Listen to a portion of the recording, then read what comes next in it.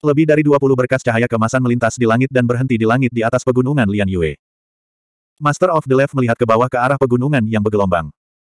Matanya terfokus saat dia melihat melewati susunan kunci emas delapan gerbang dan mengunci tiga kata, keluarga King Xiao. Tak kenal takut, apakah ini gua tempat tinggal musuh dan iblis? Biksu Downless berkata, melapor ke Imperial Preceptor, aku tidak tahu. Mungkin memang begitu. Rekan-rekan Daois, tolong bantu saya. Master kiri perlahan mengangkat palu ikan kayunya. Para Raja Biksu menyatukan kedua telapak tangan mereka dan melantunkan nama Buddha. Cahaya kemasan berkumpul di tubuh Tuan Kiri dan mengembun di palu ikan kayu. Itu bahkan lebih terang dan lebih mempesona dari matahari.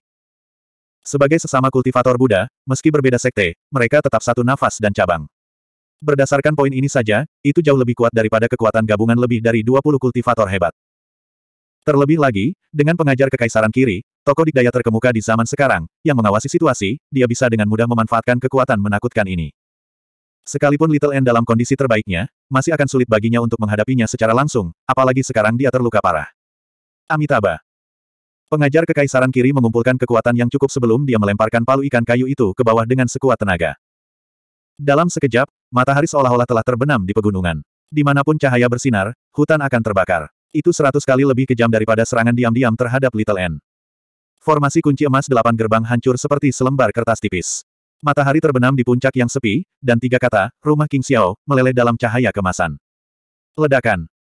Puluhan ribu cahaya kemasan menerangi dunia, dan selusin puncak gunung di sekitarnya runtuh dalam sekejap. Puncak gunung yang tak terhitung jumlahnya runtuh, dan seluruh pegunungan rantai berubah menjadi berantakan, terbakar dengan amukan api. Cahaya kemasan menghilang, dan langit berubah menjadi biru. Tempat tinggal King Xiao telah menghilang dari dunia ini. Tidak ada satupun jejak yang tersisa. Mungkin tidak ada yang tidak bisa dihapus. Terlepas dari apakah itu gunung atau kenangan, secara bertahap akan selalu memudar seiring berjalannya waktu hingga seolah-olah tidak pernah ada. Apa itu rumah? Pengajar negara, sepertinya Buddha musuh tidak ada di sini. Amitabha, menurut pendapat biksu tua ini, di mana pun musuh Buddha memulihkan diri, ia tidak akan ada di sini. Para Raja Biksu berdiskusi di antara mereka sendiri. Meskipun mereka menghormati pengajar kerajaan kiri. Tapi semua orang berada di alam yang sama. Agama Buddha juga menekankan kesetaraan semua makhluk hidup, sehingga tidak sampai pada taraf tidak berani berbicara.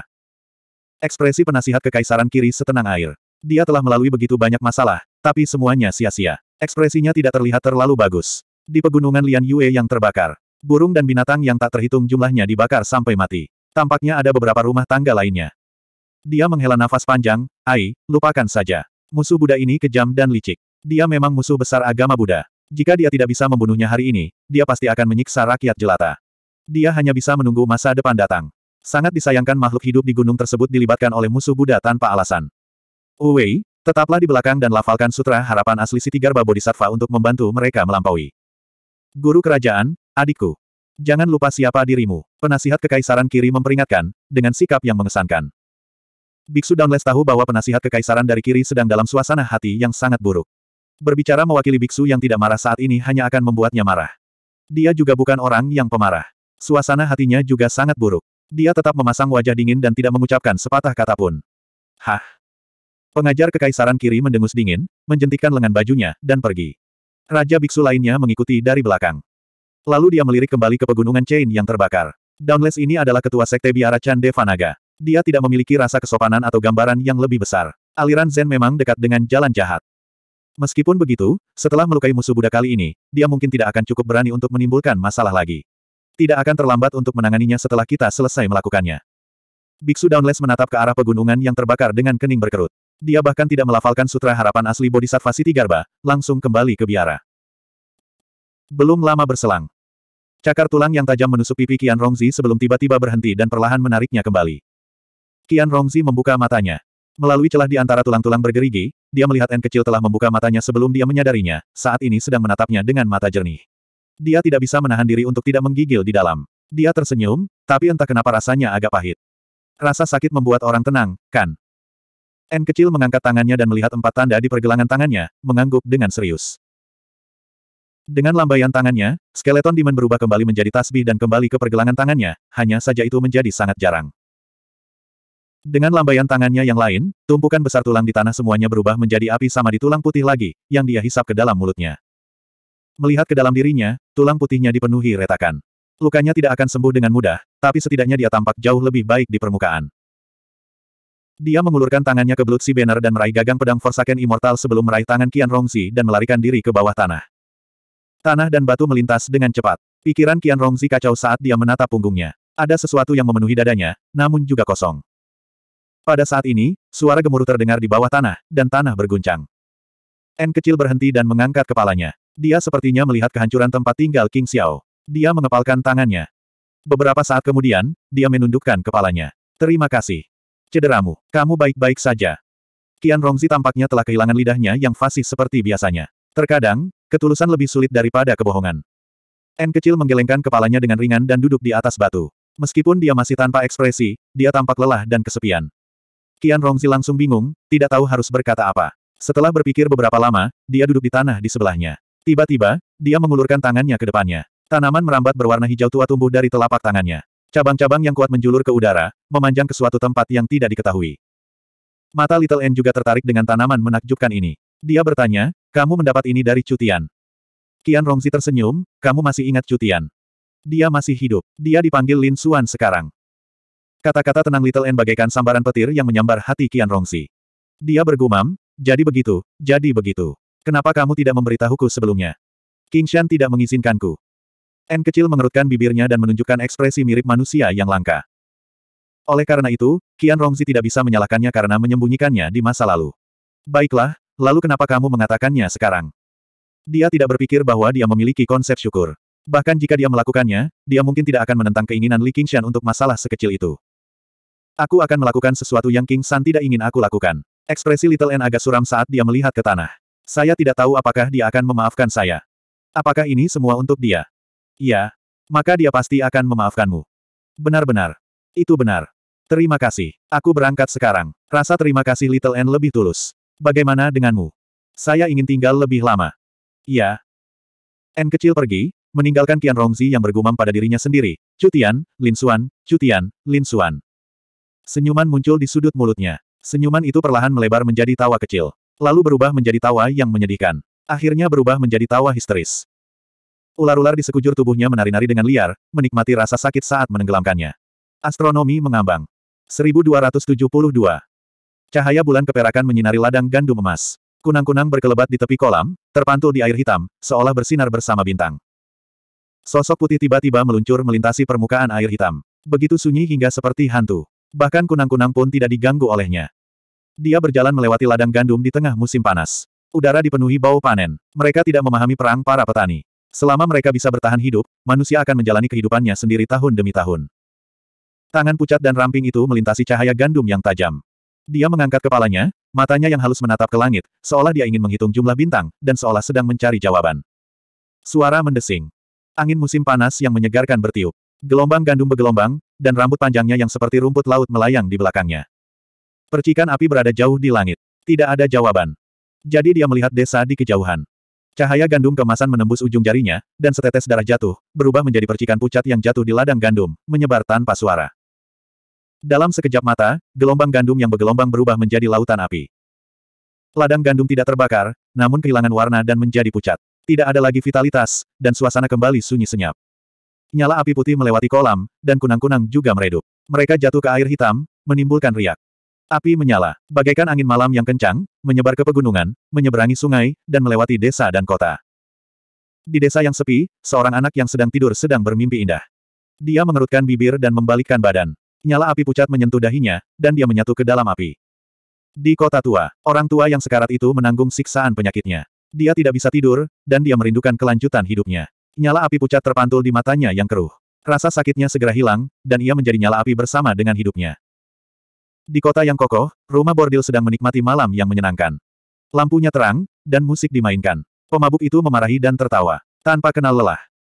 Pengemis di luar pintu memandangi tamu-tamu kaya yang masuk dan keluar. Dia ingin maju tetapi tidak berani. Dia ingin mundur tetapi tidak mau. Dia mengelak di antara lampu. Tanpa disadari, dia menghabiskan hidupnya. Nyala api pucat mengalir masuk dan keluar. Lampunya masih terang, dan tawa masih terdengar di telinganya, tapi musik sudah berakhir. Di ladang gandum pucat, dia memutar pinggangnya, menyebabkan pakaiannya berkibar tertiup angin. Langkah kakinya ringan, dan gerakan tangannya berubah. Dia mengendalikan api padang rumput, seolah dia sedang menari sepuasnya. Hanya bintang-bintang yang saling berhadapan. Pria dan wanita, bijaksana dan bodoh, baik dan jahat, kaya dan miskin, putus asa dan penuh harapan, menyakitkan dan gembira. Semua ini dulunya seperti perbedaan antara awan dan lumpur, namun kini semuanya setara dalam tarian ini. Namun, semua makhluk hidup tidak sama. Bahkan saat menghadapi kematian, akan selalu ada kultivator yang tidak mau menerima nasibnya. Mereka ingin melampaui semua makhluk hidup, menduduki gunung-gunung terkenal dan tanah-tanah yang diberkati, meletakkan formasi besar untuk menstabilkan gerbang gunung. Bahkan api putih pucat pun tidak bisa menyerang. Berdiri di bawah sinar bulan perak, dia berbalik dan mengangkat tangannya. Loncengnya bergetar, rambut hitamnya berkibar, dan tasbihnya berserakan. Dia menghilang ke pegunungan. Sambil berpikir, cahaya pedang melonjak, berputar dan berputar sebelum menghilang ke dalam kehampaan. Dengan demikian, gerbang gunung hancur, formasi pertempuran besar dihancurkan, dan semua makhluk hidup musnah. Saat matahari terbit dari timur, tidak ada lagi makhluk hidup dalam radius seribu mil, baik itu serangga terkecil maupun pembudidaya terkuat. Di desa yang jauh, tidak ada asap yang mengepul dari cerobong asap, dan tidak ada tangisan ayam atau gonggongan anjing. Kota-kota yang lebih jauh menjadi kosong. Semuanya tetap mempertahankan tampilan aslinya, seolah-olah tidak pernah terjadi apa-apa. Bintang-bintang memudar, tarian berhenti, dan nyala api pun surut. Retakan di tulang putihnya sembuh sedikit demi sedikit. Dia mengangkat pergelangan tangannya, dan tasbih muncul di sana. Jalan tulang putih dan keindahan luar biasa menunjukkan tanda-tanda samar akan menerobos lagi. Ini adalah pertama kalinya dia mempraktikkan tujuan jalan tulang putih dan kecantikan luar biasa, serta sumpah pertama, sumpah untuk membunuh semua makhluk hidup. Seolah-olah dia telah terbebas dari belenggu yang tak terlihat. Efeknya sangat bagus. Lautan tidak mempedulikan sungai-sungai kecil, itulah sebabnya ia begitu dalam. Itu seperti daging, darah, dan jiwa manusia tidak bisa dibandingkan dengan para kultivator, jumlahnya jauh lebih banyak, membuatnya lebih mudah untuk membunuh mereka. Ada juga esensi jiwa pada tumbuhan. Setiap bagiannya tidak berarti apa-apa, tapi bisa diubah menjadi percikan api yang bisa menyulut api padang rumput. Mungkin inilah jalan tulang putih yang sebenarnya. Di langit biru, kapal perang naga hitam terbang melintasi cakrawala. Gubernur Yong, melihat ke bawah ke tanah tandus 500 km di bawahnya. Dia tidak percaya ketika menerima berita itu, tapi dia tidak punya pilihan selain mempercayainya sekarang. Dia mengertakkan gigi dan berkata, musuh Buddha. Para tamu terhormat di belakangnya terdiam. Mereka tidak percaya bahwa seorang kultivator dapat melakukan hal seperti ini. Ini bukan lagi pembantaian, tapi pemusnahan total. Di masa lalu, Soaring Lokas King juga telah menjungkir balikan Provinsi Hijau, melahap banyak makhluk hidup. Namun, itu terjadi setelah persiapan yang sangat lama, dan gerombolan itu semakin bertambah. Bahkan setelah kawanan itu tumbuh hingga ukuran tertentu, mustahil untuk mengubah 500 km menjadi tanah tandus dalam satu malam. Soaring Lokas King tidak berani menunjukkan dirinya dengan mudah. Pembudidaya hebat bisa membunuh jutaan belalang hanya dengan mengangkat tangan. Betapapun parahnya bencana tersebut, sangat sulit untuk mengancam mereka. Pembudidaya biasa dapat melindungi diri mereka sendiri. Namun, saat ini, mereka pun merasa sangat terancam.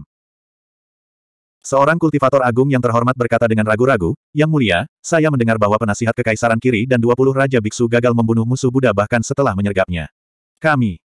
Sebagai Gubernur Yong, bagaimana saya bisa mengabaikan hal ini? Lihat, dia ada di sana. Rekan Daois, bersiaplah untuk menyerang. Saya mendengar bahwa dia sepertinya terluka. Ini mungkin sebuah kesempatan, satu-satunya kesempatan. Dia menatap kapal hitam di kejauhan. Tepat ketika dia hendak bergerak, tunas hijau yang lembut tumbuh, berubah menjadi pohon beringin.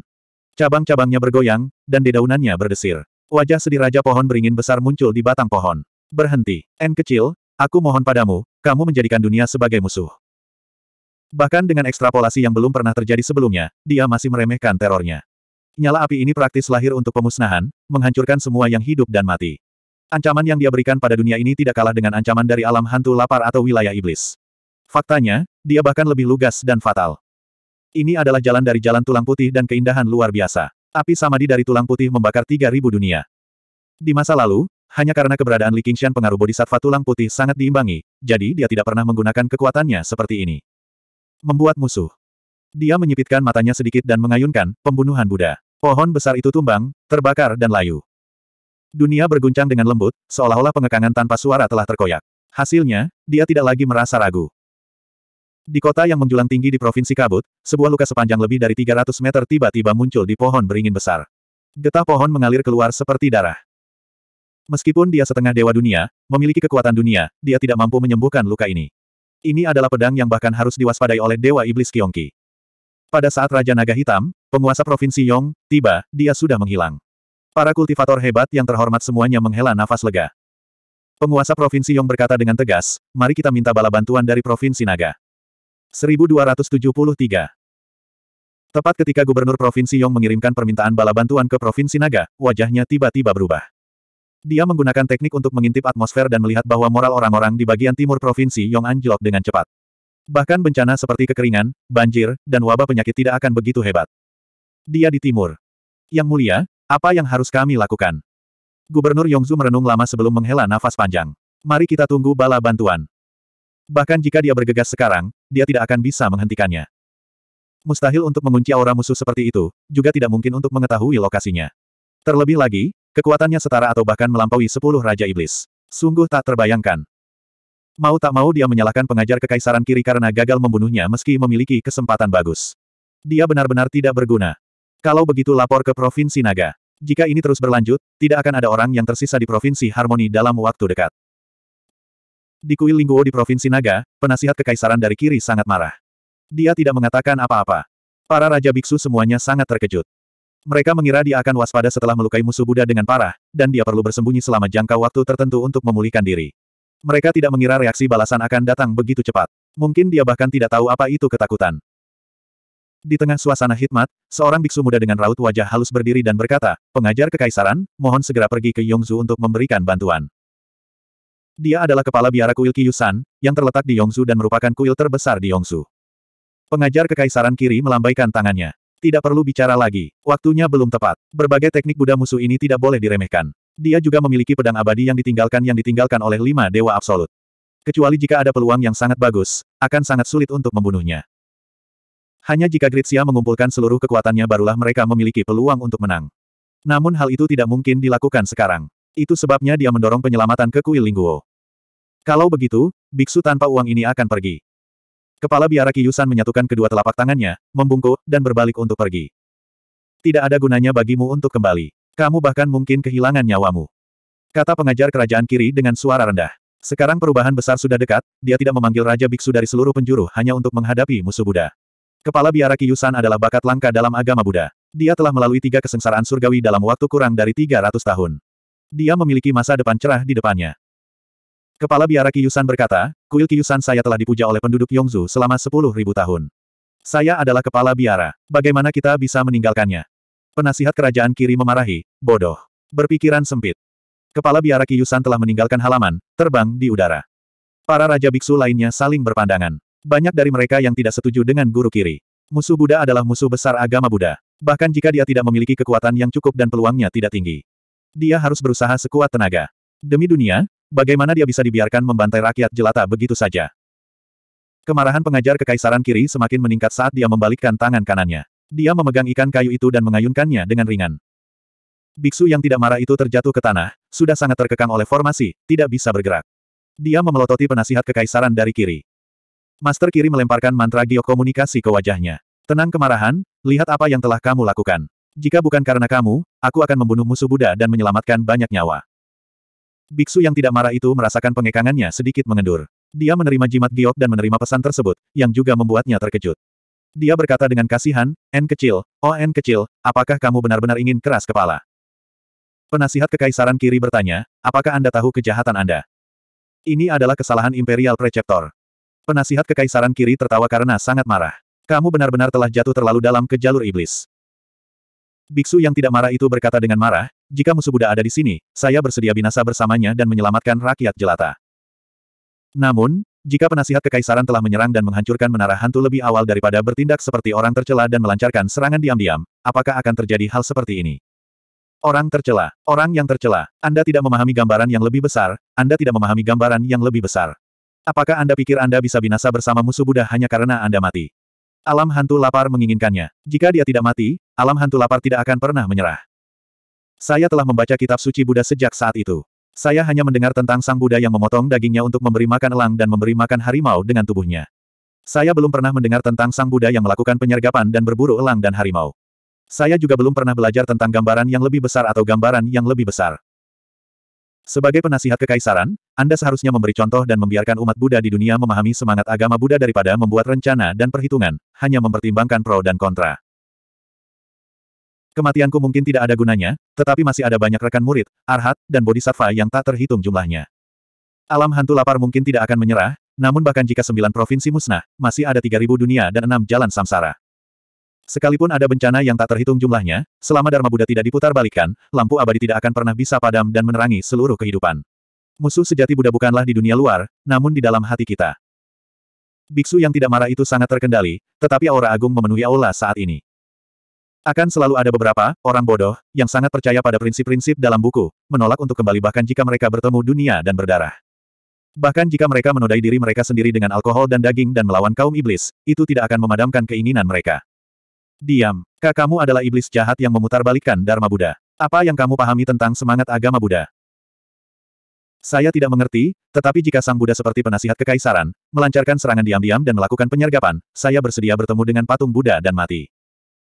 Aku akan melepaskan identitasmu sebagai Raja Biksu sekarang juga. Seret aku pergi dan hukum aku dengan 3.000 pukulan. Matahari terbenam dan senja. Hari yang singkat berlalu, diikuti malam panjang lainnya. Rekan-rekan kultivator, bala bantuan dari Provinsi Naga tidak akan datang. Jika kita ingin menghadapi musuh Buddha, kita hanya bisa mengandalkan diri kita sendiri. Sebagai gubernur Provinsi Yong, saya memiliki tanggung jawab untuk melindungi wilayah saya. Kita harus bertarung. Jika ada yang tidak mau mengambil risiko ini, silakan pergi. Aku tidak akan memaksamu untuk tinggal. Gubernur Provinsi Yong berkata dengan tegas kepada para pejabat. Di belakangnya berdiri kepala biara Yusan. Tidak ada satupun pejabat yang mengatakan apa pun tentang mundurnya mereka. Mereka semua lahir dan besar di Provinsi Yong. Meskipun mereka sangat jauh dari manusia, jika semua manusia mati, di manakah akan ada penggarap? Warisan sekte mereka juga akan terputus. Tolong beri kami perintah Anda, Yang Mulia. Gubernur Provinsi Yong mengeluarkan peta mental Provinsi Yong. Hanya ini yang bisa kita lakukan. Jauh di malam hari. Para penggarap besar para pejabat tinggi tersebar di langit di atas Provinsi Yong. Mereka membentuk kelompok yang terdiri dari dua hingga tiga orang dan memantau seluruh provinsi. Begitu mereka menemukan musuh Buddha, mereka tidak akan terburu-buru menyerang. Sebaliknya, mereka akan mengirimkan pesan dan mengumpulkan orang-orang sehingga mereka dapat memberikan pukulan fatal kepada musuh Buddha. Gubernur Provinsi Yong berdiri di atas panggung, Raja Naga Hitam, untuk mengamati aura dan mengendalikan situasi secara keseluruhan. Untungnya, Provinsi Yong sedikit lebih kecil dibandingkan Provinsi Hijau. Kalau tidak, mustahil bagi mereka untuk memantau semuanya jika wilayahnya sebesar Provinsi Frost atau Provinsi Mist. Namun, Provinsi Kabut adalah markas Raja Pohon Beringin. Provinsi Frost sangat dingin dan berpenduduk jarang, jadi dia tidak pernah menjadikannya pilihan pertamanya. Yang mulia, ada api di timur. Gubernur Provinsi Yong menerima kabar tersebut dan segera memandang ke arah timur. Benar saja, moral masyarakat sudah menurun. Apakah masih di timur? Tepat ketika dia hendak mengumpulkan para pejabat dan berangkat ke timur, berita lain datang. Yang mulia, ada api di barat laut juga. Ada kebakaran di selatan juga. Untuk sesaat, api sama di tulang putih menyala di mana-mana di Provinsi Yong. Setelah memulihkan kekuatan mereka, para iblis tengkorak melompat-lompat di dataran sambil tertawa. Mereka bagaikan kayu bakar yang membakar hutan dan kota. Gubernur Provinsi Yong ragu-ragu, mencoba menentukan lokasi sebenarnya dari musuh Buddha melalui pengamatan aura. Kepala biara yang tetap diam sepanjang waktu tiba-tiba berkata, Yang mulia, saya merasakan bahwa formasi di sekitar kuil Mount Hill telah dilanggar. Musuh Buddha ada di kuil Mount Hill. Bagaimana mungkin? Bahkan Raja Naga Hitam berjuang untuk melewati formasi selimut bumi Raja Surgawi di kuil Bukit Mount. Entahlah, musuh ada di kuil Mount Hill. Tolong segera kirim bala bantuan. Oh tidak, musuh Buddha ingin membuka gua iblis dan menarik kaum iblis masuk. 1274.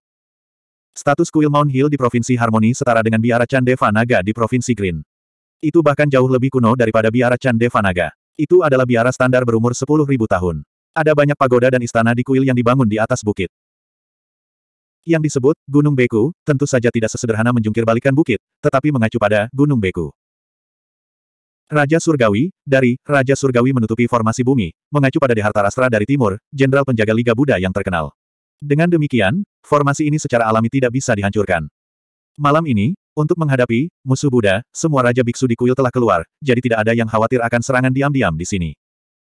N kecil naik ke puncak gunung dan melihat ke bawah ke kuil bukit yang diterangi oleh cahaya Buddha. Dia mencengkeram pedang terbengkalai surgawi dengan erat dan melompat ke bawah. Dia menjadi satu dengan pedang di udara dan berubah menjadi sinar pedang melengkung yang menembus kuil bukit Mount. Hanya ada sedikit mantra di dunia ini yang bisa menghalangi ketajaman pedang abadi yang terbengkalai. Tidak peduli seberapa kuat mantranya, itu semudah jarum menembus kulit sapi. Namun, jika dia masuk, dia hanya akan menempatkan dirinya dalam bahaya. Tidak mudah menghancurkan formasi ini dari dalam. Begitu pengontrol formasi kembali, dia akan segera jatuh ke dalam situasi berbahaya. Akibatnya, tidak peduli seberapa besar kebencian Raja Belalang melonjak terhadap biara Chandevanaga, dia tidak pernah melancarkan serangan terhadap Gunung Grid Buddha. Seberkas cahaya kemasan melompat melintasi cakrawala. Kepala biara Kiusan bergegas dengan kecepatan penuh. Dia sudah mulai mengaktifkan formasi dari jauh. Pada saat yang sama, dia mengirimkan pesan telepati kepada semua kultivator Sangking, musuh ada di kuil Kyusan. Tolong bantu kami. Tiba-tiba, bel alarm di kuil berbunyi, dan proyeksi di Hartarastra muncul tidak jelas. Dia memiliki wajah yang bermartabat dan memegang pipa. Menatap cahaya pedang, pipa berbunyi. Cahaya pedang membeku, tapi pedang abadi yang terbengkalai tidak mudah ditahan. Ia menggeliat seperti ikan dan melesat ke arah kaki ilusi Raja Surgawi. Itulah inti dari formasi. Itu juga merupakan bukit terbesar di kuil, dan di atasnya terdapat aula kekuatan besar. Apakah musuh Buddha masuk ke dalam jebakan? Kepala biara Kiyusan terkejut dan gembira. Namun, ketika dia melihat sinar pedang melengkung menghilang ke dalam bukit, dia tiba-tiba mengerti. Tidak baik, musuh Buddha ingin membuka gua iblis dan menarik kaum iblis masuk. Kuil Bukit Maun memiliki kemiripan lain dengan biara Candevanaga. Itu juga menekan gua iblis besar, tepat di bawah aula besar. Tiba-tiba, bukit itu berguncang hebat, seolah-olah seekor binatang raksasa hendak berbalik. Semua sumur di gunung itu mendidih. Puluhan aliran demoniki hitam menyembur keluar dari sumur. Jiwa pedang abadi yang terbuang berkata, betapa ironisnya. Pada saat itu, kamu mencoba segalanya untuk menghentikanku membuka sarang iblis. Tapi kamu memang master yang paling membuatku puas, selain dari ilmu pedangmu yang sedikit kurang. Dia tidak lebih lemah dari hantu tua wujud itu, dan hal-hal yang dia lakukan jauh lebih menarik. Saat itu, pedang abadi yang ditinggalkanlah yang telah membuka segelnya dan membuka sarang iblis di Kingsu. N kecil tidak mengatakan apa pun. Dia mengayunkan pedangnya lagi, dan sepertiga dari ribuan rantai besi yang terjalin putus. Lebih banyak iblis ki menyembur keluar. Musuh Buddha, hentikan. Raungan marah kepala biara kiusan menyerbu ke dalam kegelapan bukit, seperti auman jutaan singa. Para iblis yang gelisah di sarang iblis terkejut. Chaotic Soul Bell di pinggang Little N berbunyi, dan suara bel mengganggu auman singa. Dengan tebasan lagi, rantai besinya putus, dan sarang setan pun terbuka. Ki iblis yang melonjak segera mengusir auman singa, dan menembus lapisan cahaya dan bebatuan Buddha. Bukit itu tiba-tiba membengkak, dan retakan dengan berbagai ukuran muncul di atasnya saat bergetar hebat. Selain aula kekuatan besar di titik tertinggi, semua bangunan lainnya runtuh. Iblis Ki menyembur keluar dari celah dan membubung ke langit, menenggelamkan aula kekuatan besar dan seluruh kuil kiusan. Sosok Dehartarastra pun menjadi tidak stabil. Bagaimanapun, dia bukanlah penjaga surgawi yang sebenarnya, tetapi hantu yang dibentuk oleh sebuah formasi. Dari saat dia memasuki kuil kiusan hingga saat dia menerobos sarang iblis, itu hanya dalam waktu singkat. Dia hanya menggunakan tiga tebasan. Dan ini berada di bawah penindasan Raja Surgawi yang meliputi formasi bumi. Kalau tidak, satu tebasan saja sudah cukup. Selama pertempuran di Gunung Grid Buddha, pedang abadi yang ditinggalkan masih belum memiliki master, dan pedang itu bergantung pada penatua Sitian untuk mendapatkan kekuatannya.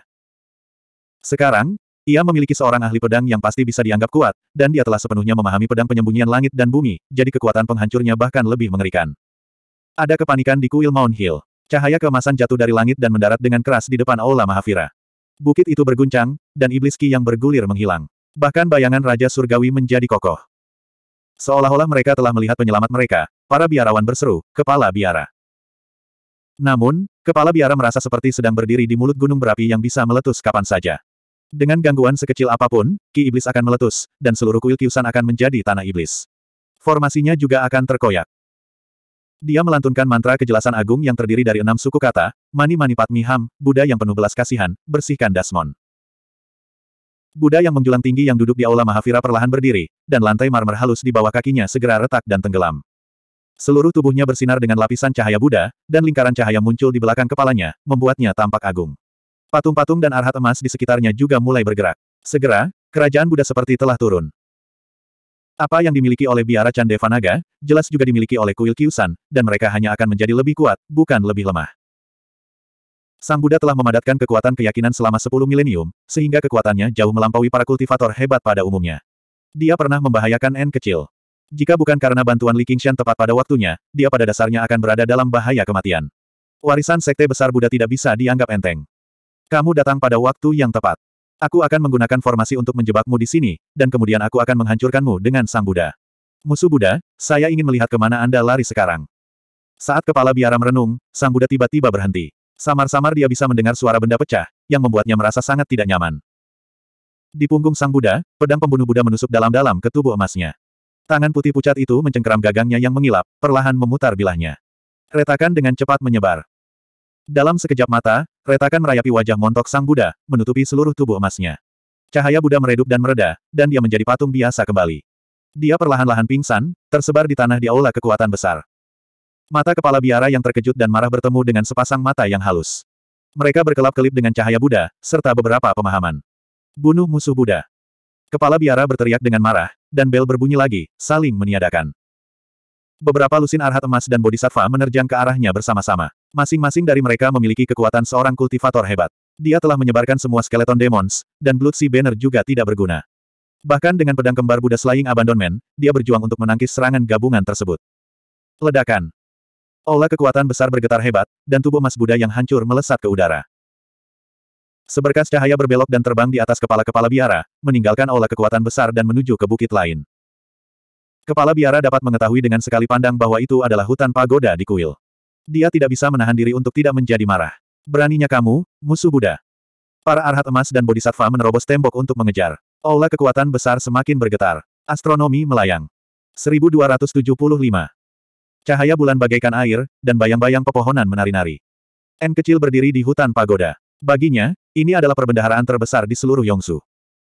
Meskipun kembalinya kepala biara Kiyusan telah menimbulkan beberapa masalah, hal itu masih sesuai harapan mereka. Lebih baik dikatakan bahwa itu adalah hal yang baik. Dalam kata-kata Green Mountain, itu adalah balas dendam. Tentu saja, dia tidak mempunyai perasaan seperti itu sama sekali. Dia bahkan tidak merasakan sedikit pun kebencian terhadap penasihat kiri yang menyergapnya. Segalanya berjalan sebagaimana mestinya. Tidak ada yang berjalan sebagaimana mestinya. Tidak perlu ada pertentangan antara agama Buddha dan setan, juga tidak perlu mempertimbangkan apa yang benar atau salah. Dalam kata-kata jalan tulang putih dan keindahan luar biasa, itu adalah sumpah kekhawatiran yang tak ada habisnya. Namun apakah ini berarti tidak ada masalah lagi? Suara mendesing. Pedang emas besar menebasnya dari belakang, tapi dia bahkan tidak menoleh saat dia mengayunkan pedang pembunuh Buddha. Dentang. Bilahnya bersilangan, dan pedang pembunuh Buddha memotong pedang emas itu dalam-dalam. Patung Bodhisattva yang memegang pedang segera kehilangan kilaunya dan roboh ke tanah. Bahkan senjata di tangannya tidak dapat menahan pedang pembunuh Buddha. Saat ini, lebih dari sepuluh patung emas mengelilinginya lagi. Cahaya pedang menyala dan membuat lintasan siksak di udara. Tiga kepala terbang ke udara. Dia menjadi satu dengan pedangnya dan keluar dari pengepungan. Dia dengan mudahnya membelah stupa dan mengeluarkan relik di dalamnya. Sambil memegangnya di telapak tangannya, api itu segera menyala dan berubah menjadi api sama di tulang putih. Ledakan. Stupa di depannya hancur berkeping-keping. Lohan tubuh emas penakluk harimau yang marah mengulurkan tangannya untuk meraihnya. Di belakangnya, embusan angin kembali bertiup, menyerangnya dari depan dan belakang. Dia melemparkan dirinya ke dalam pelukan tubuh emas arhat harimau berjongkok, pedang pembunuh Buddha di tangan kirinya sedikit ditarik. Tubuh emas lohan yang menundukkan harimau memiliki tanda pedang di telapak tangannya. Itu segera berhenti. Dia menghancurkan tubuh emas arhat penakluk harimau menjadi beberapa bagian. Dia melemparkan pedang abadi yang terbengkalai dengan tangan kanannya. Cahaya pedang itu seperti naga jahat yang berkeliaran. Itu terbang mengelilingi tubuhnya dan menembus patung emas. Bunuh Buddha dan pertahankan, serangan pengabaian abadi. Kedua pedang itu menampilkan mantra pedang tersembunyi langit dan bumi, yang sangat mirip tetapi juga sangat berbeda. Mereka terjalin menjadi jaring pedang, dan tidak ada satupun patung emas yang dapat menghalangi pedangnya, dan tidak ada satupun patung emas yang dapat menyentuh sudut pakaiannya. Bum bum bum bum. Dia melewati hutan pagoda, dan patung emas mengikuti dari belakang. Pagoda-pagoda itu runtuh satu demi satu. Dia dengan santai mengeluarkan beberapa sarira. Menyatu dengan tulang putih, ia menjadi lebih cepat dan kuat. Akhirnya, seluruh hutan menara runtuh. Sarira dari semua biksu terkemuka dalam sepuluh ribu tahun terakhir semuanya telah dikumpulkan olehnya. Di matanya yang awalnya kosong. Pada saat ini, ia terbakar dengan amukan api. Melihat ke belakang, masih ada lebih dari selusin patung emas yang mengejarnya. Dia berbalik dan menghadapi serangan itu. Cahaya pedangnya yang lincah menari seperti cahaya yang mengalir. Itu menghilang dalam sekejap dalam kegelapan. Kembali ke posisi semula, selusin patung emas di belakangnya berdiri tak bergerak dan perlahan runtuh. Buddha yang tak terkalahkan. Melihat hutan pagoda hancur, mata kepala biara Yusan melebar karena marah, tapi dia tidak bisa meninggalkan aula kekuatan besar. Setelah kehilangan hutan pagoda, formasi kehancuran Raja Surgawi semakin berguncang. Raungan dan lolongan yang tak terhitung jumlahnya terdengar dari bawah kakinya, seolah-olah sekelompok hantu dari neraka membanting gerbang neraka. Begitu mereka kehilangan penindasan, kaum iblis akan kembali ke dunia. Rekan-rekan Daois, kuil Mount Hill sedang dalam masalah. Silakan datang dan selamatkan kami.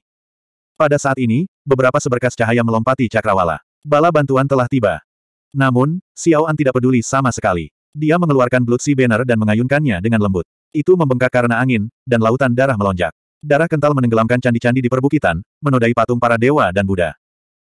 Jeritan kekhawatiran dan kesengsaraan naik dan turun di pegunungan. Segera setelah para biksu jatuh ke lautan darah, kerangka yang tak terhitung jumlahnya mencengkeram mereka dengan kuat dan mencabik-cabiknya, membuat mereka menjadi genangan darah dalam sekejap mata. Hanya satu kerangka yang tersisa, memburu orang-orang yang jatuh ke laut bersama kerangka lainnya. Ada juga banyak yang melompat ke udara karena budidaya mereka yang luar biasa, tetapi gelombang besar berwarna merah tua melonjak dan menyapu mereka ke lautan darah. Bahkan ada kilatan cahaya yang berputar dan melesat keluar, memenggal kepala semua biksu yang terbang cukup tinggi. Apakah mereka telah mengalami kesengsaraan surgawi pertama atau kedua, bagaimana mereka bisa menahan ketajaman pedang Forsaken Immortal? Beberapa saat kemudian, lautan darah telah menelan seluruh bukit, hanya menyisakan olah kekuatan besar tempat kepala biara tinggal sebagai sebuah pulau terpencil. Meskipun Blood Sea Banner rusak parah sehingga tidak bisa digunakan dalam pertarungan terbuka, itu masih cukup berguna untuk menyerang. Setelah menelan semua biksu di kuil, lubang di panji laut darah perlahan-lahan menutup kembali, menjadi lebih merah. Cahaya Buddha meredup, dan formasinya runtuh. Sosok Dehartarastra lenyap. Ledakan. Aula kekuatan besar terlempar ke udara. Ki iblis melonjak dengan hebat ketika banyak orang iblis dengan berbagai ukuran merangkak keluar dari gua iblis. Kepala biara berdiri di tengah gelombang ki iblis. Dia agak linglung seolah baru saja mengalami mimpi buruk. Dia berjuang untuk mempercayainya. Kuil Mount Hill yang telah berdiri lebih dari 10.000 tahun baru saja dihancurkan oleh tangannya seperti ini. Air mata mengalir di pipinya saat ribuan orang iblis menelannya. Mengaum. Raungan histeris dan geram membunuh ribuan orang iblis dan membubarkan ki iblis yang melonjak.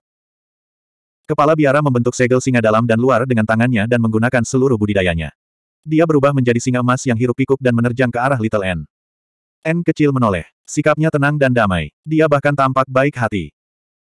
Dia mengulurkan jarinya, dan gelombang besar setinggi lebih dari 300 meter muncul dari lautan darah yang bergelombang, mengalir ke awan. Itu seperti tembok besar, memisahkan mereka dan jatuh ke arah kepala biara. Bang! Darah terciprat ke mana-mana saat kerangka yang tak terhitung jumlahnya hancur. Singa emas bergegas keluar dari lautan darah. Musuh Sang Buddha, aku akan membawamu turun bersamaku. Namun, tempat di mana Little N berdiri tadi sekarang benar-benar kosong. Dia segera merasa kosong di dalam. Baru saat itulah dia mendengar bel berbunyi. Dia merasakan dadanya sakit. Menundukkan kepalanya, dia melihat kerangka yang belum dia hancurkan. Ia memegang pedang di tangannya, menancapkannya jauh ke dalam dadanya. Singa emas menghilang, hanya meninggalkan kepala biara Kyusan. Dia ingin meledakkan dirinya sendiri dan menjatuhkan musuh Sang Buddha bersamanya, tetapi dia tidak mampu melakukannya. Dia dipenuhi dengan kebencian dan kengganan. Bagaimana Dharma agama Buddha Ortodoks bisa begitu terkendali? Bagaimana hal itu bisa begitu terkendali? Jika bukan karena pedang pembunuh Buddha, Buddha Agung akan mampu memaksanya untuk tunduk. Jika bukan karena panji laut darah, formasi Raja Surgawi yang meliputi bumi tidak akan runtuh secepat itu. Skeleton Demon, yang tidak berpartisipasi secara langsung dalam pertempuran, juga mengalihkan perhatian Raja Provinsi Yong. Pedang abadi yang terbengkalai memainkan peran yang lebih besar. Pertama-tama ia menerobos formasi pelindung, kemudian menembus segel sarang iblis, dan membunuh patung emas itu seolah-olah mereka adalah anjing. Dia melepaskan kekuatan setiap artefak transenden secara ekstrim. Dia memanfaatkan kelemahannya dan memberikan pukulan fatal. N kecil tidak menjawab. Dia mengeluarkan pedang pembunuh Buddha. Sebuah bola api samadi dari tulang putih melonjak ke dalam tubuhnya, dan wajah kepala biara Kiyu San yang penuh kebencian dan kengganan menghilang. Pada titik ini, dia telah pulih sepenuhnya dari luka yang dideritanya dalam pertempuran di Menara Hantu. Kultivasinya bahkan meningkat. Dia berbalik untuk melihat penyelamat. Kepala biara Kiyu San. Para kultivator hebat di Sangking semuanya tercengang. Kuil San yang terkenal di Provinsi Yong telah dihancurkan dalam satu malam. Bagaimana ini mungkin? Musuh Sang Buddha.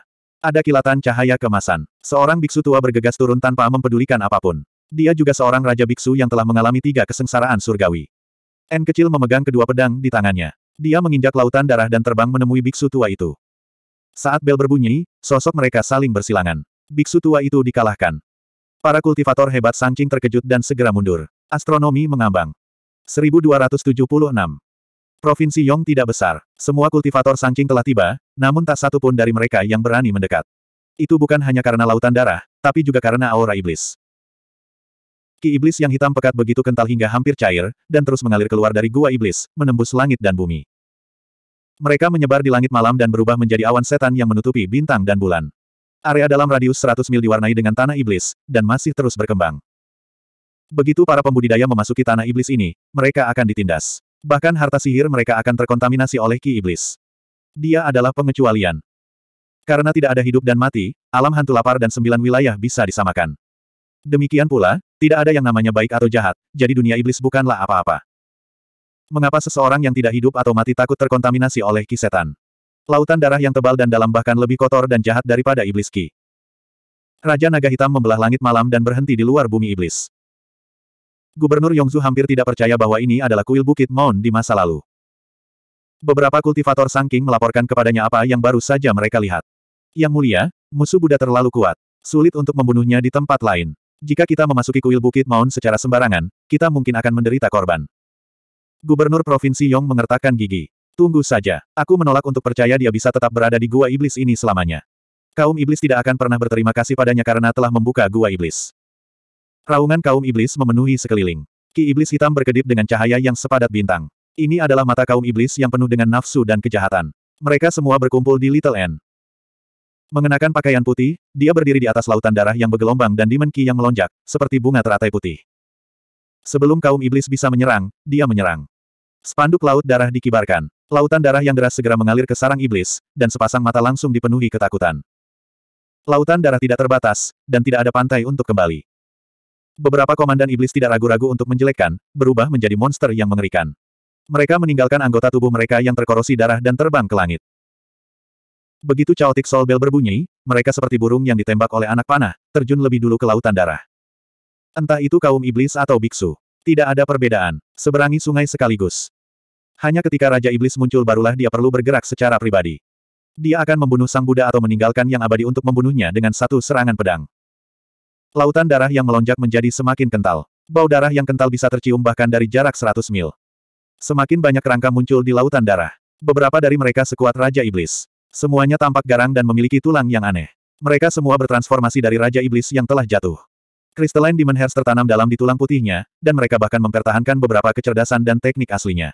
Namun, mereka telah menjadi budak lautan darah, membantai kaum iblis. Para penggarap besar di Provinsi Harmoni menyaksikan pesta pembantaian ini dengan mulut ternganga. Baru sekarang mereka mengerti bahwa dia tidak membuka gua iblis untuk memikat kaum iblis masuk. Sebaliknya, dia ingin memakan kaum iblis ini. Setiap kali Raja Iblis jatuh, para penggarap hebat akan merasakan hawa dingin di hati mereka. Mereka percaya bahwa mereka tidak lebih kuat dari Raja Iblis ini. Jika dia menyerang secara sembarangan, dia akan ditekan oleh Ki Iblis, dan akibatnya akan lebih buruk lagi. Dari zaman kuno hingga sekarang, invasi kaum iblis yang membawa bencana besar ke sembilan provinsi sebenarnya telah dihentikan olehnya sendiri, dan dia semakin kuat saat dia bertarung. Pada akhirnya, dia bahkan tidak perlu melakukan apa pun sendiri. Budak darah kerangka yang semakin kuat muncul di lautan darah.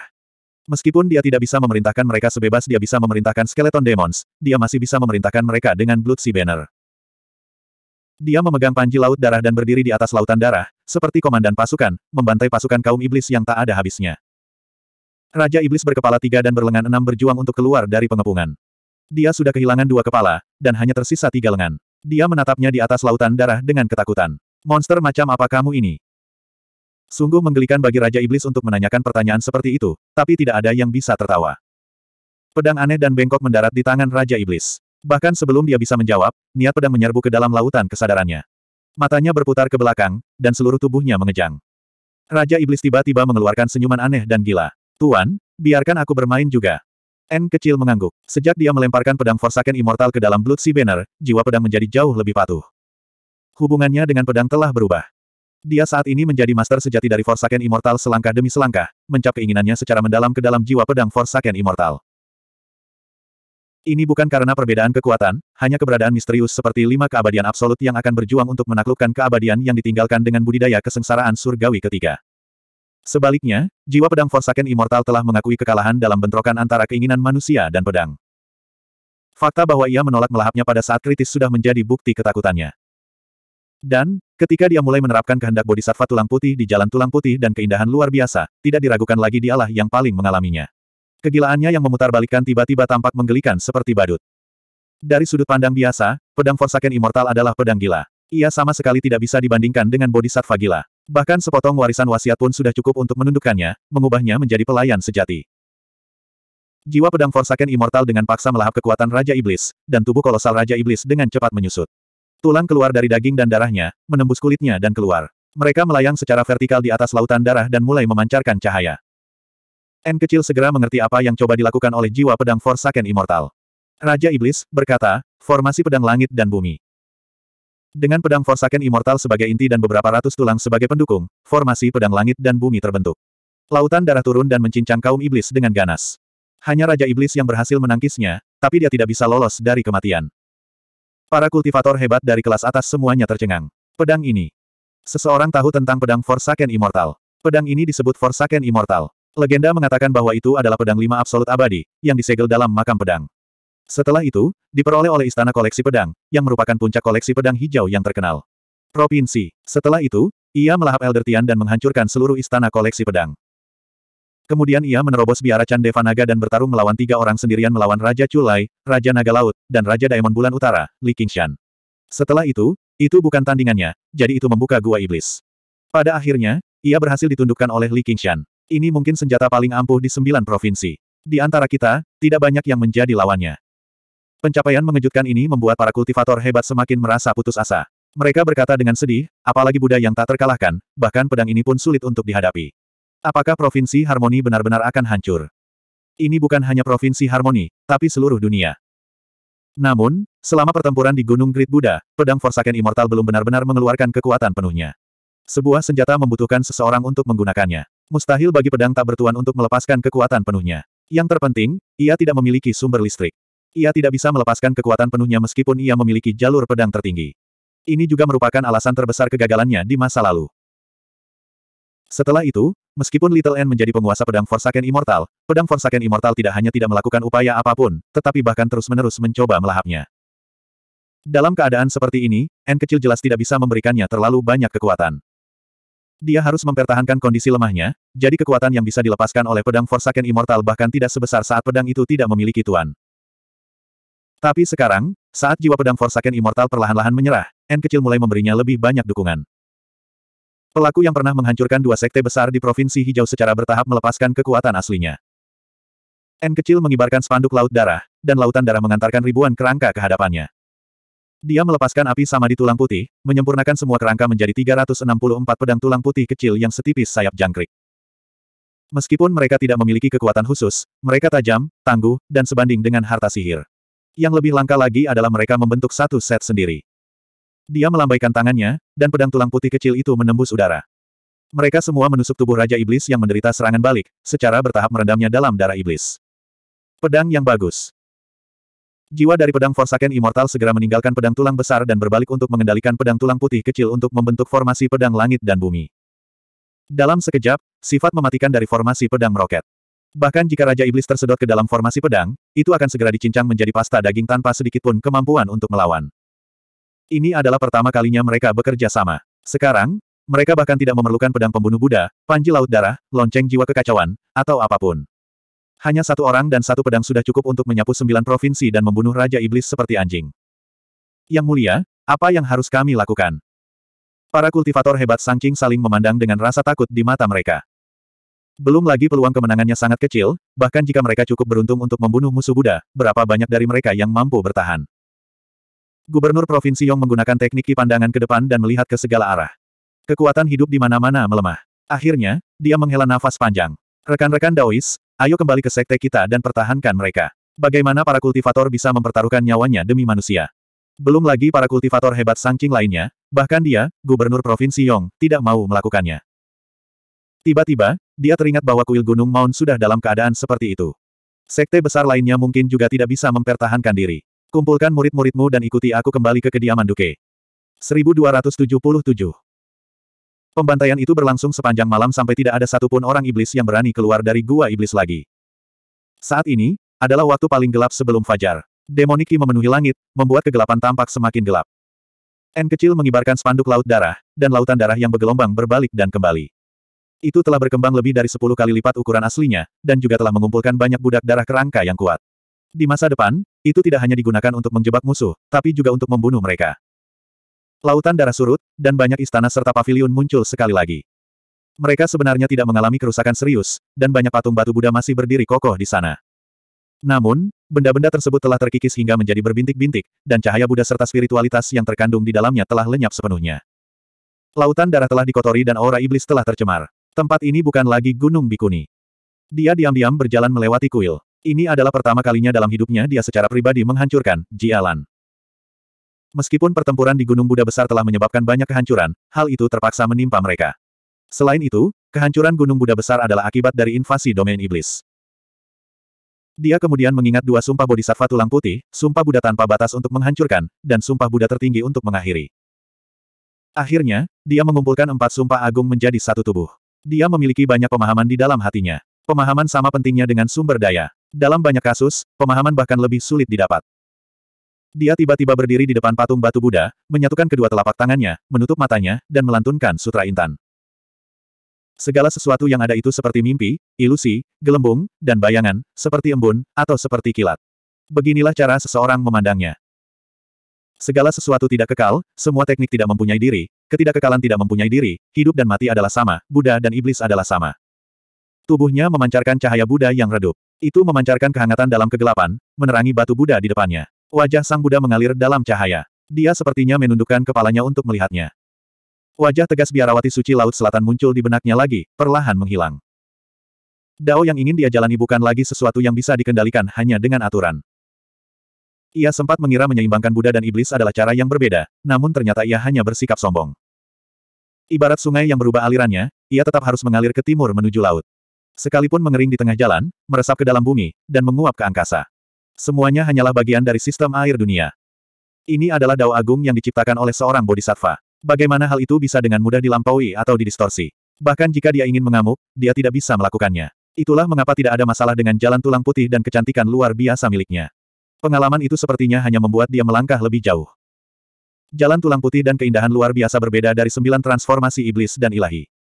Apa yang dikejarnya bukanlah keseimbangan antara iblis dan ilahi, sebuah dunia tersendiri. Sebaliknya, itu adalah asal mula kehampaan, nirwana menuju kehancuran. Setelah memahami hal ini, cahaya Buddha melebur menjadi tulang putih. Wajahnya menjadi lebih damai dan tenang. Dia diam-diam menghadap batu Buddha. Siapa pun yang melihatnya akan berpikir bahwa dia adalah orang yang paling beriman. Apakah Dao Bodhisattva tulang putih hanyalah salah satu dari Dharma Buddha tanpa batas dan Dao Buddha tertinggi? Mungkin menjadi iblis hanyalah ilusi. Dia tidak tahu bahwa dia telah sepenuhnya menguasai tiga lapisan pertama jalan tulang putih dan kecantikan luar biasa dalam sekejap. Saat ini, dia sudah memiliki kualifikasi untuk naik. Dia tidak hanya bisa naik ke level berikutnya, dia juga bisa mendapatkan buah sungai Sutuo. Dia bahkan bisa mengesampingkan ancaman alam hantu lapar. Namun, dia membuat pilihan yang sama seperti Li Qingshan, yang berada ribuan mil jauhnya. Dia menyerah untuk naik dan terus memadatkan kekuatannya. Tiba-tiba, pedang Ki sangat menakjubkan dan mematikan. 364 pedang tulang putih kecil dari pedang abadi yang ditinggalkan dirangkai menjadi formasi pedang langit dan bumi. Mereka berputar cepat dan menembak ke arahnya. Aula dan aula di sepanjang jalan semuanya hancur berkeping-keping. Jubah biksu berwarna putih kebiruan terangkat oleh aura pembunuh. Dia tidak bergerak sama sekali, seolah-olah dia benar-benar tenggelam dalam kultivasi. Dia tidak menghindar, juga tidak melawan. Pedang abadi yang ditinggalkan mendekat dalam jarak satu meter darinya sebelum tiba-tiba melambat. Ujung pedangnya bergetar lembut, membelah udara dan meninggalkan tebasan hitam yang memunculkan berbagai bentuk pedang. 364 pedang tulang putih kecil berputar di sekelilingnya. Dengan melahap Raja Iblis dan membunuh kaum Iblis, ia telah mengumpulkan kekuatan yang belum pernah terjadi sebelumnya. Sekarang adalah waktu yang tepat untuk melakukan serangan balik. Itu juga merupakan kesempatan terakhirnya. Dentang. 365 pedang saling bertabrakan dan menyusut dengan cepat. Sehelai rambutnya terpotong oleh ujung pedang, melayang ke tanah perlahan. Ini adalah pertama kalinya dia terluka sejak pertempuran di Menara Hantu. Dia membuka matanya sedikit dan menatap pedang abadi yang terbengkalai yang hanya berjarak beberapa inci. Pada saat itu, dunia seakan kehilangan warna, menjadi pucat. Jiwa pedang abadi yang ditinggalkan terasa seperti segalanya telah kehilangan maknanya. Bahkan kesadarannya menjadi kosong di dunia pucat ini. Ia tidak bisa melupakan perasaan ini lagi. Ia berpikir kosong, dia baru berada pada kesengsaraan surgawi ketiga, jadi bagaimana dia bisa memiliki kemauan seperti itu? Jangan bilang dia adalah makhluk abadi yang bereinkarnasi seperti hantu Ujue. Ketika dia mengulurkan tangannya, pedang abadi yang ditinggalkan berbalik, memungkinkan dia untuk memegang gagangnya. Pada saat itu, keseimbangannya benar-benar rusak. Jejaknya sudah tercetak, tuan dan pelayan kini terpisah. Mulai sekarang dan seterusnya, pedang abadi yang ditinggalkan tidak lagi memiliki kesempatan untuk melakukan serangan balik. Bahkan ketika dia terluka parah dan tidak sadarkan diri, dia hanya bisa melindungi tuannya dengan sepenuh hati. Pedang abadi yang terbengkalai diselimuti oleh api sama di tulang putih. Dia mencengkeram gagangnya rata-rat, yang dilapisi dengan pola tulang putih berlubang, samar-samar membentuk kerangka. Bentuknya sebenarnya tidak penting. Yang penting adalah dia telah sepenuhnya menyempurnakan pedang abadi yang ditinggalkan. Seolah-olah tidak ada yang terjadi sama sekali, jiwa pedang abadi yang terbengkalai menggerutu. Tuan, pedang ini tidak terlalu berguna. Iya.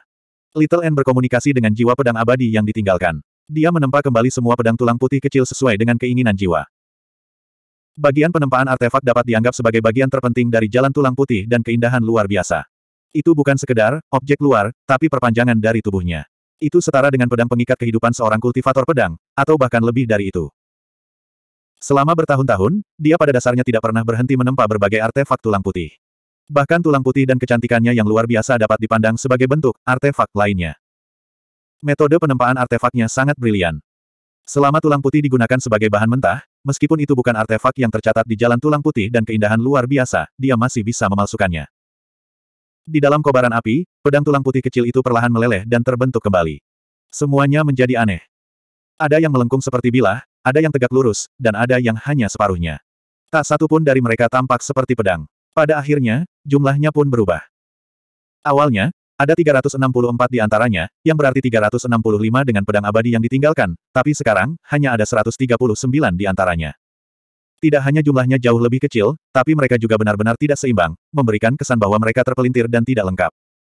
Ada banyak kumpulan artefak di dunia. Tak satu pun dari mereka akan menggunakan angka yang tidak berarti itu. Namun, jiwa pedang abadi yang ditinggalkan sangat gembira. Ia berkata dengan nada menyanjung, ini bagus. Inilah yang saya inginkan. Dengan cara ini, akan lebih mudah untuk membunuh. Tuan, Anda memperlakukan saya jauh lebih baik daripada iblis tua itu. Hal ini tidak sepenuhnya salah.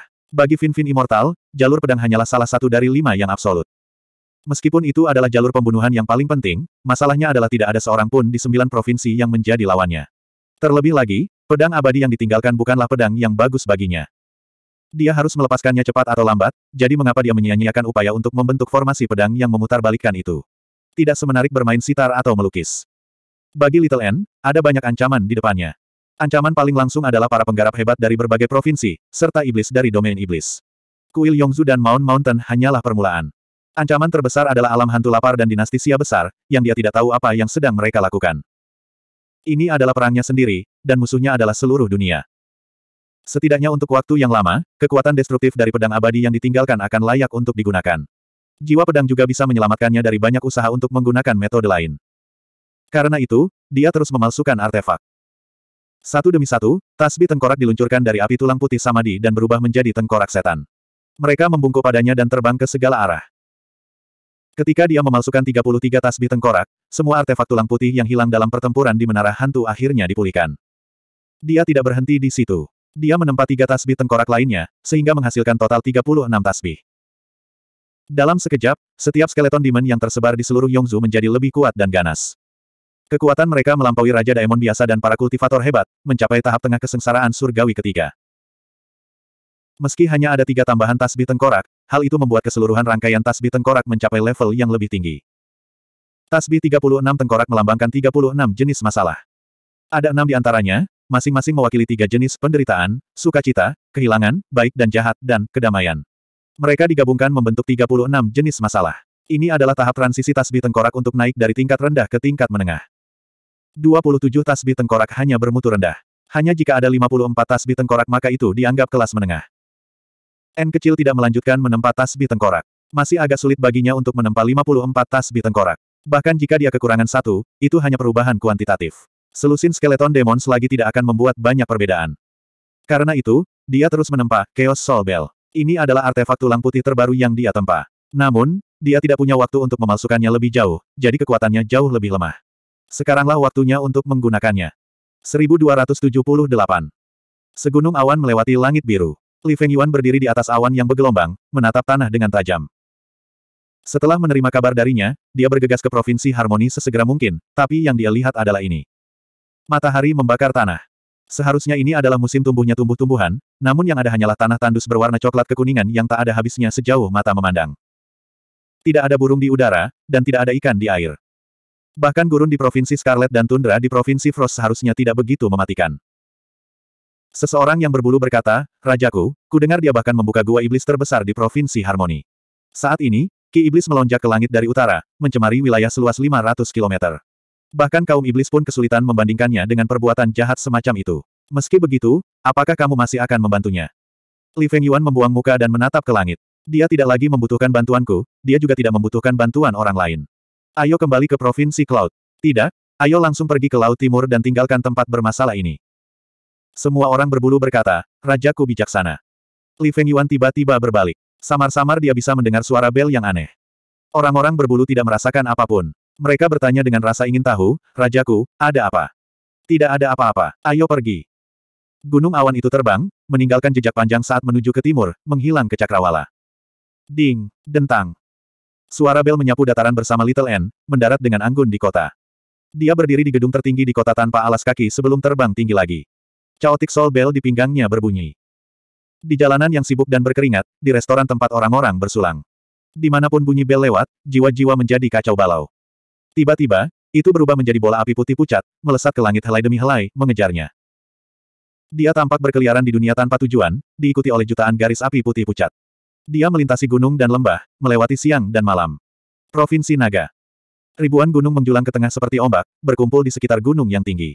Itu seperti seekor naga besar di lautan yang mengangkat kepalanya, siap terbang. Ini adalah leyline terhebat di dunia, Gunung Kepala Naga. Dikatakan bahwa gunung itu berubah dari mayat naga sejati, tapi itu terjadi satu juta tahun yang lalu. Para naga sudah lama meninggalkan dunia ini. Banyak legenda tidak lagi dapat diverifikasi. Di puncak gunung, ada aula besar yang tingginya lebih dari seribu kaki. Ia meninggalkan lautan awan di kakinya dan hampir terhubung ke langit. Ia memiliki kekuatan untuk mendominasi sembilan prefektur. Di bawah sinar matahari, sekali lagi, dipenuhi dengan kemegahan yang luar biasa. Perubahan berputar-putar, seolah-olah diselimuti lampu neon, sangat megah dan megah. Sepertinya itu bukan buatan manusia, apalagi buatan manusia. Dan memang itulah yang terjadi. Ini adalah senat yang dibangun oleh para dewa di era kerajaan ilahi. Semua ras dewa akan mengirimkan perwakilan untuk mengadakan pertemuan di sini. Para tetua asli dari tujuh klan dewa bertanggung jawab untuk mengordinasikan perselisihan antara berbagai ras, mendiskusikan strategi untuk menangkis kaum iblis, dan menekan kerusuhan para budak. Selain penebang kayu raksasa, sebagian besar sosok dewa mirip dengan manusia. Dikatakan bahwa mereka dipengaruhi oleh klan naga, dan itulah mengapa aula ini sangat besar. Untuk merayakan datangnya era baru dan meningkatkan kewibawaan ras mereka sendiri, berbagai ras telah berusaha semaksimal mungkin untuk membangun aula besar ini. Seharusnya tidak ada gunung setinggi ini di dunia. Itu adalah orang-orang tanah liat yang telah mengangkat gunung kepala naga ke ketinggian yang luar biasa, dan para merfolk yang telah mengubah aliran beberapa ratus sungai untuk membentuk formasi alami. Arsitek ahli penjelajah malam telah menyeimbangkan gaya berbagai ras dan merancang bentuk asli aula. Suku Featherfolk dikenal karena keanggunannya, namun mereka terbiasa berinteraksi dengan awan, jadi yang bisa mereka lakukan hanyalah menurunkan diri dan melakukan pekerjaan, rendah, mengangkut material dari jauh atau bahkan dari laut untuk menambah struktur awan. Aula, Dikatakan bahwa Federfolk pernah merancang tangga awan yang melingkari gunung kepala naga sepanjang tahun, mencapai langsung ke puncak. Setelah itu, taman itu hancur dalam kobaran api perang, seperti taman terapung yang dirancang dengan cermat oleh para penebang kayu raksasa. Namun, batu-batu besar yang ditempa oleh Fire Devouring Vault dan ornamen logam yang ditanamkan secara pribadi oleh Metal Diamond tidak dapat dihancurkan dengan mudah. Bahkan setelah ribuan tahun, mereka tetap kokoh dan berkilau. Mungkin itulah satu-satunya saat umat Tuhan bekerja sama untuk sesuatu. Setelah itu, bahkan ketika kaum iblis menyerbu, hal itu dipenuhi dengan siasat dan siasat, baik terbuka maupun terselubung. Mereka bahkan tergoda untuk menghancurkan ras lawan. Para budak rendahan adalah umpan meriam terbaik, terutama manusia yang bisa menjadi kaum iblis kapan saja. Sebaliknya, daemon yang bisa berfungsi sebagai tunggangan tampak sedikit lebih ramah. Namun pada saat itu manusia sudah memiliki sekte, aliran, bahkan kepercayaannya sendiri. Para kultivator dari generasi ke generasi mengatasi rintangan tersebut, menggunakan metode kultivasi yang semakin mendalam untuk menutup jarak antara mereka dan umat Tuhan. Setelah akumulasi jangka panjang, ras Daemon menghasilkan Raja Daemon. Masing-masing dari mereka memiliki kemampuan yang kuat dan kepribadian yang liar. Akhirnya, suatu hari, dewa dan iblis terluka parah. Para budak memperoleh kebebasan, dan tunggangan mereka terlepas dari kendali mereka. Pada saat pemuda itu melintasi sembilan provinsi bersama Elang dan Serigala dan mendaki Gunung Kepala Naga, umat dewa telah menjadi orang lain, dan Aula telah berpindah dari Dewan Tetua ke Istana Kekaisaran, terus memerintah sembilan provinsi. Pada saat ini, Kaisar Sia Agung sedang duduk di singgasana emas. Wajahnya di bawah mahkota dipenuhi dengan martabat. Para pejabat sipil dan militer, tiga menteri dukal dan sembilan menteri, berdiri di kedua sisi dengan tablet upacara di tangan mereka. Di aula yang sangat besar, manusia tidak dapat dihindari untuk terlihat tidak berarti. Namun, Aura yang mereka keluarkan seperti aura raksasa, dan itu adalah akibat dari mereka yang sengaja menyembunyikannya.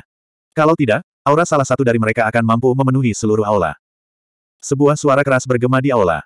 Menurut laporan Gubernur Provinsi Yong, musuh Buddha telah mendatangkan malapetaka di Provinsi Yong, dan tidak ada satupun makhluk hidup yang selamat.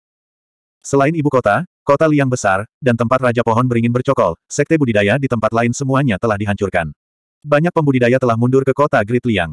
Setan di Provinsi Yong telah menerima peringatan dari Raja Pohon Beringin. Mereka bersembunyi jauh di bawah tanah, berkumpul di sekitar Raja Pohon Beringin, atau melarikan diri dari Provinsi Yong. Dewa Pelindung Elang berhenti sejenak dan menyimpulkan, Provinsi Yong sudah selesai. Aula itu begitu sunyi sehingga orang bisa mendengar suara pin jatuh.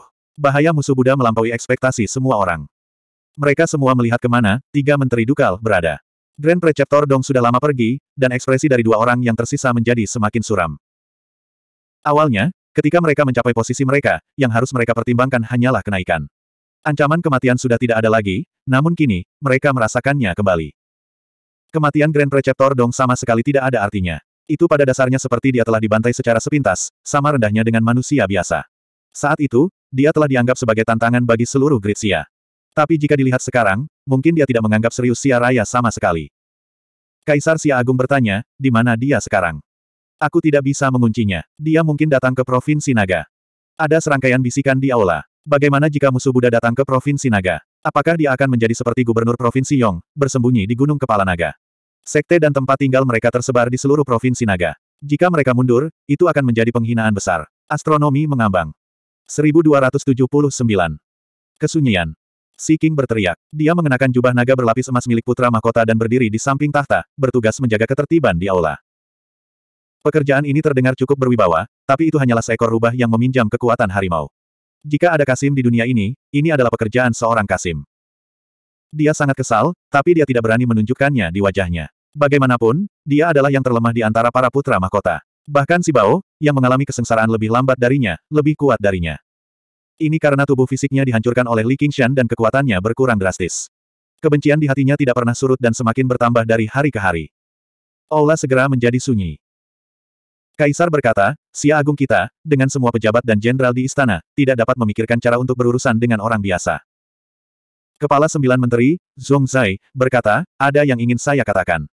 Jika hanya untuk menghadapi musuh Buddha, ada banyak cara. Bukan tidak mungkin untuk membunuhnya, tetapi kita perlu menggunakan kekuatan seluruh negara. Sekarang adalah momen krusial, beribadah kepada surga. Setelah pemujaan berhasil, musuh Buddha hanyalah masalah kecil. Jika ibadah gagal, bahkan jika kita membunuh musuh Buddha, sembilan wilayah tidak akan lepas dari nasib ditelan oleh alam hantu lapar. Penasihat Kekaisaran Kiri berkata, tidak sulit untuk memaksa alam hantu lapar mundur, tapi kali ini, alam hantu lapar ada di sini untuk musuh Buddha, dan mereka bertekad untuk mendapatkannya dengan segala cara. Kaisar mengerutkan kening, musuh Buddha lagi. Zongzai berkata, penasihat Kekaisaran Kiri benar. Masalahnya bukan hanya alam hantu lapar. Musuh Buddha telah membuka lusinan sarang iblis. Jika ini terus berlanjut, akan segera terjadi bencana iblis yang belum pernah terjadi sebelumnya. Meskipun memang musuh Buddha yang menyebabkan keadaan ini. Namun musuh kita bukan hanya satu orang, melainkan dua dunia. Kaisar tiba-tiba berdiri. Dia berkata dengan marah, apakah musuh Buddha ini dikirim oleh surga untuk melawan kita? Apakah Anda akan membiarkan kami melihatnya mengamuk tanpa melakukan apa pun? Dalam sekejap, angin dan awan di luar aula melonjak dan guntur bergemuruh. Zongzai berkata, sedikit ketidaksabaran akan merusak rencana besar. Yang mulia, Mohon prioritaskan ibadah ke surga. Semua menteri berkata, Yang mulia, mohon prioritaskan ibadah ke surga. Kaisar Sia Agung perlahan-lahan duduk lagi, lupakan saja. Ketika pemujaan ke surga selesai, musuh Buddha akan dengan mudah ditangkap. Raja Elang, sudahkah kamu menemukan surgawi yang bereinkarnasi? Dewa Pelindung Elang menjawab, belum. Berbagai prefektur telah menyiapkan daftar nama, dan ada beberapa orang dengan bakat luar biasa di antara mereka. Dia mungkin adalah seorang kultivator di kehidupan sebelumnya. Tapi bukan surga yang kita cari. Kebanyakan dari mereka kebetulan menyimpan beberapa kenangan tentang kehidupan masa lalu mereka. Mereka bahkan tidak tahu apa itu kultivasi di kehidupan masa lalu mereka, jadi mereka tidak bisa dianggap sebagai reinkarnasi dewa. Mungkin ingatan makhluk surgawi belum pulih dan dia tidak ingat misinya. Kalau tidak, dia pasti akan datang ke Provinsi Naga. Reinkarnasi dewa sebenarnya merupakan konsep yang samar-samar. Semua makhluk hidup berputar dalam enam jalan reinkarnasi. Setiap orang secara acak yang dia tangkap dapat dianggap sebagai reinkarnasi. Hanya dia yang merupakan seorang kultivator di kehidupan sebelumnya dan memiliki beberapa kenangan tentang kehidupan sebelumnya. Hanya dengan begitu dia bisa disebut sebagai reinkarnasi makhluk surgawi. Masalahnya adalah sembilan wilayah terbentang ratusan ribu mil, dan populasi pada puncaknya lebih dari sepuluh miliar. Terlalu banyak orang berbakat. Di sisi lain, tidak ada cara untuk memverifikasi ingatan seseorang di kehidupan sebelumnya. Sekalipun ada, sebagian besar akan buram dan tidak lengkap, dan seseorang hanya bisa mengandalkan kemampuan pemahaman dan kecepatan kultivasinya. Bahkan jika beberapa orang menolak mengakuinya, yang lain masih percaya bahwa mereka adalah reinkarnasi makhluk surgawi, seperti Little N. Akibatnya, terlalu banyak orang di dunia yang mengaku sebagai reinkarnasi makhluk surgawi. Namun, Istana Kekaisaran Gritsia hanya ingin menemukan satu orang. Selama bertahun-tahun, mereka telah memerintahkan penjaga Hawkwolf untuk mencari di berbagai tempat secara diam-diam, namun mereka tidak pernah menemukan apa pun. Bertahun-tahun yang lalu, ada seseorang seperti itu di prefektur Clear River, bernama Cutian. Saat itu, Gu Yanying masih menjadi komandan White Hawk di Komando Ruyi, tapi disengaja atau tidak, dia sama sekali tidak bekerja sama dengan pekerjaan ayahnya. Setelah itu, Cutian, mati muda, dan reinkarnasi makhluk surgawi, menjadi lelucon. Adapun makhluk surgawi yang dicari oleh Istana Kekaisaran Gritsia, dia tidak pernah muncul. Di bawah sinar bulan yang kabur, kabut malam menyelimuti pulau-pulau kecil di danau. Seolah-olah mereka sama sekali tidak terpengaruh oleh gejolak dunia. Itu setenang lukisan. Seorang pria dan seorang wanita berjalan di sepanjang pantai. Laki-laki tampan dan anggun, sedangkan perempuan cantik dan mempesona. Mereka tampak seperti sepasang sahabat abadi yang sudah bosan dengan konflik dan kembali mengasingkan diri sambil bergandengan tangan. Mengapa kamu begitu istimewa bagiku? Wanita itu agak bingung, tapi dia juga agak bersemangat. Secercah kejutan melintas di mata pria itu, seolah-olah dia tidak pernah menyangka seseorang secerdas dia akan menanyakan pertanyaan bodoh seperti itu. Dia berkata dengan penuh ketulusan, karena kamu selalu sangat istimewa. Heh, kamu pasti jahat sekali. Wanita itu menunduk dan tersenyum dengan sikap mencela diri sendiri. Iya, kamu bukan saja sangat jahat, tapi kamu juga sangat kejam. Pria itu tersenyum. Iya, aku selalu berpikir aku menyembunyikannya dengan sangat baik. Wanita itu juga tersenyum. Tidak ada gunanya. Aku selalu mengalaminya secara mendalam, tapi sepertinya para komandan White Hawk di Komando Rui di masa lalu juga seperti itu. Pria itu tersenyum pahit seolah dia tidak berdaya. Wanita itu menggerutu, Oi, jika kamu berbicara tentang aku, biarlah, tapi apakah kamu harus berbicara tentang tuanku juga? Pria itu sedikit terkejut. Dia belum pernah melihatnya berperilaku seperti ini sebelumnya. Ternyata itu sangat mempesona. Tiba-tiba, dia teringat bahwa dia pernah berlatih seni pesona di masa lalu, tetapi kasih sayang itu tidak palsu. Dia tersenyum. Seperti kata pepatah, seperti tuan, seperti murid. Senior Gu jelas punya alasan untuk menerimamu sebagai muridnya. Setiap orang yang jeli dapat melihat betapa istimewanya Anda. Mungkin dia menganggapku sangat menjengkelkan, jadi dia secara khusus menerimaku sebagai muridnya sehingga dia bisa menyiksaku. Wanita itu berkata setengah bercanda, setengah serius. Aku belum pernah mendengar hal seperti itu. Menerima seseorang sebagai muridmu hanya karena kamu membencinya. Pria itu tertawa keras. Tawanya yang jelas membuat khawatir sekawanan burung kuntul. Selalu ada banyak hal aneh di dunia. Bukankah ada salah satu dari delapan penderitaan dalam agama Buddha yang disebut masyarakat kebencian? Wanita itu menoleh ke samping dan menatap pria itu. Pria itu kembali menatapnya. Iya, Aku tidak terlalu memikirkan hal itu. Aku merasa penderitaan terbesar dalam hidup adalah tidak bisa mendapatkan apa yang kamu inginkan. Wanita itu mengalihkan pandangannya. Apa yang kamu inginkan? Pria itu tiba-tiba mengubah topik pembicaraan. Playboy yang merupakan murid utama aliran legalisme tergila-gila pada gurumu. Sayangnya, dia sudah meninggalkan Komando Rui, atau saya pasti akan mengundangnya untuk minum sehingga saya bisa meminta bimbingannya tentang cara membebaskan diri dari rasa sakit karena tidak bisa mendapatkan apa yang saya inginkan. Wanita itu terdiam beberapa saat sebelum berkata, tahukah kamu? Orang yang paling aku benci adalah tuanku. Pria itu bertanya dengan rasa ingin tahu, mengapa?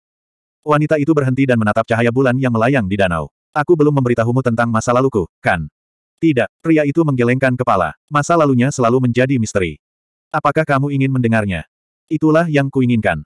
Pria itu bisa merasakan hati wanita terbuka padanya. Usahanya selama bertahun-tahun akhirnya membuahkan hasil. Sukacita melonjak dalam hatinya. Bukankah dia telah melakukan segala yang dia bisa untuk mendapatkan ketulusan itu? Hanya dengan mendapatkan ketulusan itu dia dapat secara pribadi menghancurkannya dan mengambil kembali semua miliknya. Kian Rongzi, ini balas dendamku, Cutian. 1280. Tahukah kamu, nama keluargaku aslinya adalah Sangguan. Kian Rongzi menatap cahaya bulan yang beriak di danau dengan bingung. Seolah-olah jiwanya telah melewati waktu dan kembali ke masa lalu yang sangat, sangat lama. Yang tersisa di sini hanyalah cangkang kosong. Lin Xuan tersenyum, sangguan Rongzi terdengar lebih baik. Namun, ketika dia menceritakan masalah masa lalu yang telah dia kubur dalam-dalam, Lin Xuan secara bertahap berhenti tersenyum. Lin Xuan tidak bisa tertawa lagi. Dia tidak tahu harus berkata apa. Meskipun dia telah menjalani dua kehidupan dan mengalami banyak bahaya, sedemikian rupa sehingga dia menjadi acuh tak acuh terhadap segala macam pembantaian dan kematian. Namun, rasa sakit yang terdalam di hati orang-orang, Penghinaan yang tak terlupakan dan tak terkatakan, bahkan ia merasa getir ketika orang yang terlibat secara pribadi menyebutkannya. Dia tidak bisa tidak memikirkan kembali dua kehidupannya. Dibandingkan dengan apa yang telah dia lalui, itu bisa digambarkan sebagai perjalanan yang mulus. Kemunduran terbesar yang dia derita adalah ketika ingatannya belum pulih dan dipanggil, Cutian. Namun, bahkan Cutian menghabiskan sebagian besar hidupnya dengan sikap sombong, berpuas diri, dan tidak berperasaan. Suara Kian Rongzi sangat acuh tak acuh, seolah dia sedang membicarakan orang lain. Lin Xuan tidak bisa membantu tetapi merasakan sedikit simpati, tapi dia segera menghilangkan pemikiran itu. Dia memulihkan harga dirinya sebagai surgawi. Ada banyak orang menyedihkan di dunia ini. Berapa banyak dari mereka yang akan menjadi iblis wanita seperti dia? Karena ada begitu banyak penderitaan dalam hidup, kenapa kamu tidak mati saja lebih awal? Mengapa Anda harus menyusahkan orang lain? Beraninya kamu merusak misiku, mencegahku melapor kembali ke Provinsi Naga. Anda layak mati. Kian Rongzi, oh Kian Rongzi, jika aku tidak mempermainkanmu seperti anjing dan kemudian menyiksamu sampai mati, aku tidak akan bisa menghilangkan kebencianku. Namun, kesedihan dan rasa kasihan muncul di wajah tampannya. Dia memotongnya, tidak tahan lagi, Rongsi. Jangan katakan lagi. Bahu Qian Rongzi bergetar. Dia perlahan berbalik dan berkata dengan sedih, Lin Xuan, aku belum pernah menyebutkan hal ini kepada siapa pun sebelumnya. Tolong dengarkan aku, oke. Okay. Aku ingin kamu tahu tentang masa laluku yang sebenarnya, tapi jika kamu muak mendengarnya, kamu boleh pergi. Anda bisa berpura-pura seolah tidak terjadi apa-apa. Baiklah, silakan. Lin Xuan berkata tanpa daya. Setelah mengubah sikapnya, dia tidak lagi merasa kasihan padanya. Sebaliknya, itu dipenuhi dengan kesenangan yang kejam. Merobek bekas luka lamanya dan membuatnya berdarah, ini juga bisa dianggap sebagai bagian dari balas dendam. Sampai Qian Rongzi selesai berbicara dalam satu tarikan napas. Wajahnya sudah berlinang air mata. Apakah aku monster? Dia bertanya dengan bingung. Iya, kamu adalah monster, monster yang sinting dan gila. Anda bahkan dapat mengatakan detailnya. Sungguh tidak tahu malu. Lin Xuan berpikir. Dia mengambil satu langkah ke depan dan berkata dengan penuh semangat, tidak, tidak. Semua ini bukan salahmu. Orang-orang klan Kianlah yang pantas mati. Tapi karena kamu sudah membalas dendam, kenapa kamu tidak membiarkannya saja? Tuanmu tidak menyiksamu, dia mencoba membuatmu kembali. Bisakah kita kembali? Kian Rongzi bingung. Dia melihat tangannya dan matanya menjadi tegas kembali. Tidak, tidak ada jalan untuk kembali. Jika aku kembali, aku tidak punya apa-apa lagi. Saya hanya bisa terus seperti ini. Kadang-kadang saya berpikir saya ditakdirkan untuk menderita sepanjang hidup saya. Kalau begitu, bagaimana aku bisa lepas dari pengaturan takdir? Kamu tidak punya apa-apa. Kamu masih memiliki aku. Aku akan selalu bersamamu. Ekspresi Qian Rongzi berubah. Benar-benar, dengarkan apa yang aku katakan. Itu benar. Aku, Lin Xuan, bersumpah demi Tuhan bahwa aku akan bersamamu selamanya. Kehendak tak terbatas dari sembilan provinsi jelas tidak memperhatikan kata-katanya yang sembrono. Namun, sama seperti wanita mana pun yang mabuk cinta, dia menjadi terharu secara emosional dan mau tidak mau melemparkan dirinya ke arah kekasihnya. Lin Xuan ragu-ragu sejenak, tapi dia masih membuka tangannya dengan kuat. Ini adalah kesempatan yang berkah. Bahkan anak yang lemah pun bisa membunuh orang dewasa yang tidak dijaga, apalagi perbedaan kekuatan di antara mereka tidak terlalu besar. Dia tidak bisa menunda masalah pohon anggur mendaki surga lebih lama lagi. Provinsi Naga sedang mencarinya. Jika dia ingin memasuki istana kerajaan di Provinsi Naga dengan gemilang, dia harus mengambil tindakan. Ketika mereka berpelukan erat, Lin Xuan merasakan gelombang rasa sakit. Namun, dengan tekadnya, dia bisa menanggungnya. Suara Qian Rongzi yang serak dan meminta maaf terdengar di telinganya. Maaf, aku sudah melakukan yang terbaik untuk menahan diri. Lin Xuan berkata dengan tulus, kamu telah memberiku yang terbaik. Apa gunanya sedikit rasa sakit? Dia mempertimbangkan bagaimana dia bisa menangkapnya tanpa langsung membunuhnya. Benar-benar, aku akan memberimu lebih banyak, lebih banyak lagi. Qian Rongzi bergumam. Dia mencium leher Lin Xuan dengan bibir merahnya, dengan lembut menjilat dan menciumnya. Awan kebetulan menghalangi cahaya bulan. Suasana kegelapan meresap ke udara. Lin Xuan memikirkan masa lalu yang dia bicarakan dan merasa jijik. Namun, rasa jijik ini segera berubah menjadi keterkejutan. Rasa sakit yang ratusan kali lebih besar dari apa yang baru saja dialami tiba-tiba melonjak ke dalam jiwanya. Matanya tiba-tiba melebar, dan dia mengeluarkan suara gemericik yang tidak berarti dari mulutnya. Bahkan makhluk surgawi yang bereinkarnasi tidak akan bisa mengabaikan rasa sakit di neraka. Belum lagi metode budidayanya yang nyaris gila. Dia memiliki ribuan ular neraka, bukan hanya meminjam kekuatan neraka. Dia bisa digambarkan sebagai neraka yang hidup. Ini adalah hal terbaik yang kumiliki. Apakah kamu menyukainya? Jangan khawatir, saya akan memuaskan Anda sepenuhnya. Sebelum dia menyadarinya, mata Kian Rongzi telah berubah menjadi mata ular yang dingin sebelum dia menyadarinya. Ular neraka merayapi seluruh wajahnya. Bahkan bibir dan lidahnya yang merah terjerat ular berbisa, mendesis dan menjentikkan lidahnya. Wajah Lin Xuan menjadi gelap saat pembuluh darahnya menonjol. Dia mengeluarkan dua kata dari sela-sela giginya, Rongzi. Dia masih berjuang untuk percaya bahwa identitasnya telah terungkap. Dia yakin penyamarannya sempurna. Dari Cutian hingga Lin Xuan, dia memang menjadi orang yang benar-benar berbeda. Tidak peduli seberapa hati-hatinya Qian Rongzi, mustahil baginya untuk menemukan jejaknya. Apa yang salah? Atau dia masih mengujinya? Cutian. Suara Qian Rongzi sangat bersemangat. Dia memeluknya erat-erat, seolah lengannya ingin masuk ke dalam tubuhnya. Ular neraka menyusup ke dalam tubuhnya, menggerogoti jiwanya. Tahukah kamu, aku benci kalau orang lain sangat mengasihaniku. Apakah aku begitu menyedihkan? Aku akan membuatnya seratus kali, seribu kali lebih menyedihkan dariku. Untungnya, saya tidak sekejam itu. Setidaknya, aku tidak akan mengasihani mereka. Baiklah, aku sudah memberimu begitu banyak. Sudah saatnya kamu membayarku kembali. Sebatang pohon anggur menjulur, menusuk ke dalam dantian Cutian. Cutian melakukan yang terbaik untuk berkonsentrasi. Biarkan aku pergi, atau aku akan membawamu turun bersamaku. Baiklah, saya tidak sabar lagi. Kian Rongzi membungkus dirinya lebih erat lagi, seperti ular piton besar yang menelan seekor gajah. Bahkan jika dia akan mati tercekik, dia tidak akan melepaskan mangsa di mulutnya. Kamu orang gila. Cutian dipenuhi dengan penyesalan. Dia seharusnya tidak peduli dengan martabat makhluk surgawi. Dia seharusnya meminta bala bantuan dari istana kekaisaran lebih awal. Pada saat ini, Heaven Climbing Fin menembus dantiannya. Itu kosong, tanpa adanya inti emas. Cahaya ungu menyala di dahinya. Seseorang kecil berwarna ungu yang tampak seperti jiwa yang baru lahir berubah menjadi cahaya ungu dan terbang menjauh. Dia mengolah buku surgawi rumah ungu dari 10.000 buku surgawi. Dia membuka rumah ungu alih-alih membentuk inti emas. Dia memiliki kekuatan seorang penggarap jiwa yang baru lahir selama kesengsaraan surgawi kedua. Sebagian besar adalah untuk berurusan dengan Qian Rongzi, tapi dia tidak menyangka bahwa dia akan menggunakan teknik melarikan diri yang mirip dengan proyeksi jiwa yang baru lahir di awal. Qian Rongzi melepaskan tubuh Cutian yang telah dihisap hingga kering oleh tanaman anggur pendakian surga. Dia terkekeh, pengecut.